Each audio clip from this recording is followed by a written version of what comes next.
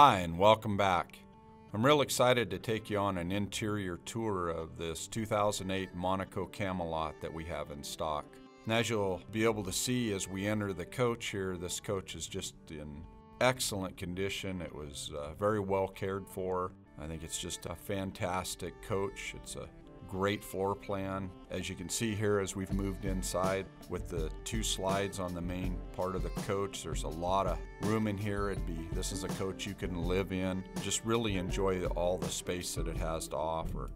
We're gonna talk a little bit about this corner desk here. You can move the lounge chair there, an ottoman out of the way, and you can bring in one of the small chairs from the kitchen table to work at the desk, or you can work from this leather chair. It's got trays here for pen and paper. It's got a slide out keyboard tray here. It's a great spot to set your laptop and set up a little workstation here in the corner. We're gonna move the recliner out of the way here so you can take a moment and look at all of the storage area. Here there's a full length counter that runs along the edge of the coach. There's storage underneath it, lots of places to put things for extended stays out on the road. Here we're going to move over to the dinette and show you it. It does slide in when the coach is retracted and it does move back out. Notice the cabinets underneath it and the shelf space above it. There's all kinds of places to store stuff on this coach. It's like you just keep discovering more and more places to store stuff as you move around in the coach. Here we're going to show you the different lighting levels that are available on this coach. I think Monaco does a great job, a lot like Renegade does, of allowing your lights to be at all different levels to set the moods, whether you want reading lights or just overhead lights or really bright lighting. Here we're going to move over to the refrigerator and freezer. It does have an ice maker in the door as well as fresh water in the door. There's a shot of the mirror in the main living area. All of the cabinets are solid hardwood. Here's the brains of the coach right there is kind of the command center, if you will, of the coach. This is where you're going to find temperature controls, electrical control panel right here on the Magnum Energy controller. This is for your auto generator start, and we actually have an advantage video that we've made that walks you through that. This shows you the status of all of the other energy uses on the coach. It's where you can start the generator and stop it. Just about everything you want to know about your coach is going to be found right here in this control panel. Now we're going to move into the kitchen area and talk about it for a little bit. One of the first things you're going to notice is the slide out counter here, the counter extension that you can slide out and add more room for the counter. This coach has full length drawer slides as you can see from this image here that we put up. Now we're going to move up to the solid surface counter top. As you can see there's covers over the sink and the stove. This coach does have a convection microwave in it. Lots of storage up in the overhead cabinets. You can see the heater vents underneath the cabinets, and here's the storage underneath the sink. Here's another shot of the full-length drawer slides on it. There's a storage compartment there to store cookie sheets. Here's a shot showing the slide-out counter extension in and out. There's also cabinets and storage inside of it. I think this is just a really nice feature. Now as we move around up into the living area, you're going to see the overhead storage above the sofa. This sofa does has seat belts in it, so you can take extra passengers with you. The sofa also unfolds into a hide-a-bed, as you can see here in this photo. Here's another shot looking forward on the coach. Again, you can just see all of the space that's available for you. This coach does have power window slides that remote control power up and down, and then there's also the privacy curtains here that you can see when you're staying uh, and you want some privacy. Here's a shot of the passenger seat. It's electric, it does power recline. You can rotate it all the way around. It'll also recline as you're going down the road. Here's a shot of some of the interior controls that are to the left of the door as you enter up into this inside of the coach. Monaco's done a good job of putting everything really easy to reach. Here's the stairwell cover. It's all powered and electronic, so when you're heading down the road, the passenger can hit this button and that'll close up so they have a place to rest their feet. Here you can see the chair in all the recline positions. What a great way to tour America, huh? Just kicking back and enjoying it from the passenger seat.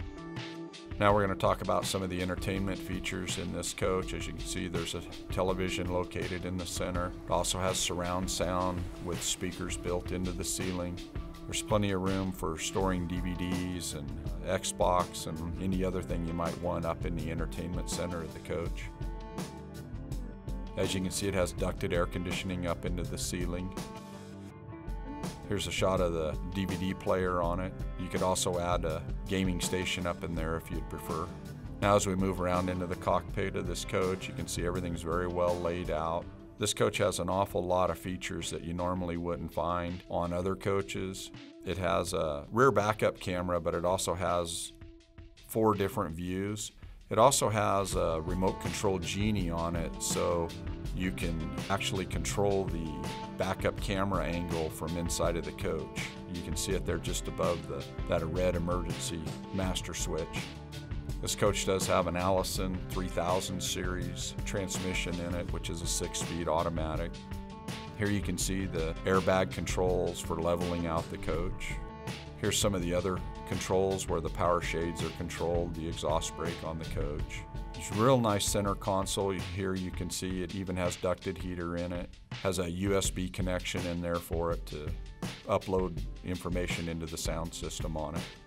Now we're going to move back into the main bathroom of the coach. As you can see from this, there's an awful lot of room in it. The cabinets in here are all solid wood. There's extra outlets in it It's got very good lighting on it. There's a mirror over the medicine cabinet, light switch controls, water pump controls, and everything are there on the right of the medicine cabinet. This coach has a tiled backsplash, polished surface countertop, has an undermount sink on it. All of these things are things you would expect to see in a, a very high-end home, not just a luxury motor coach.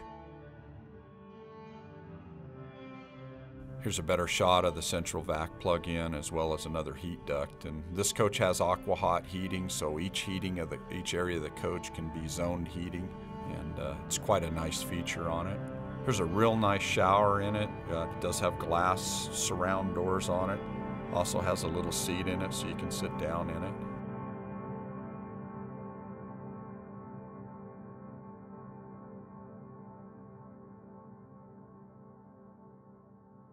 Here's a shot of the stacked washer and dryer. It's kind of a nice feature to have a washer and a dryer both. Of course, if you don't want them, we can always remove them and you'd have extra spot for linens and blankets and stuff. But on this coach, I think there's plenty of storage, so it's a real nice feature to be able to have a stacked washer and dryer. Now we've moved over to the other side of the coach into the private toilet area, and as you see, there's lots of cabinet space in here. Here's another sink in here, um, I think Monaco's done a really good job of giving you lots of room in the bathroom area, which is important, you know, when you're out living in a coach and you're living in it day in and day out, to have a little bit of privacy from other people. It's nice to have lots of storage to keep extra towels and medicines and just incidentals that you need day to day on the road. It's also a vent fan in the ceiling there that has a rain sensor on it, tiled backsplash on it, polished surface countertops, Lots of storage underneath. Also notice the 110 outlet on the left there in case you want to plug in a hair dryer or an electric shaver. Here's where more of the electronics are housed, so they're very easy to get to, which is nice. You know, in the event you have a fuse blow or something, it's really easy. It's right at eye level, so you can get in there and do some diagnostics. Here's the shot of the shower and the sprayer. If you want to, you can use the sprayer to wash out the toilet. Now we're going to go through this pocket door and enter the main bedroom on the coach. And you know, the first thing you notice on this coach is there's just tons of room in the master bedroom. Extra storage underneath the bed if you want to store sleeping bags or just extra linens and blankets. There's uh, two nightstands. This is the forward nightstand and drawers. As you can see, they have full-length drawer slides on them as well. It's really nice to have a nightstand at the side of the bed so you can set a water bottle or a remote control or your cell phone. Here's the overhead cabinet storage over the top of the bed. Notice there's extra 110 outlets there by the nightstand. Here's the rearward most nightstand. It has full-length drawer slides on it as well.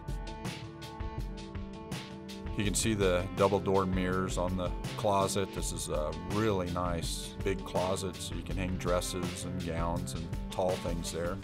This closet also has interior lighting in it, which makes it really nice to see in there. Here's some more storage closets, a smaller storage area, another place to put linens and things. And it also has a light inside of it. All these shelves are adjustable and they can be removed if you'd like. Here's some storage bins that are over the main window in the bedroom.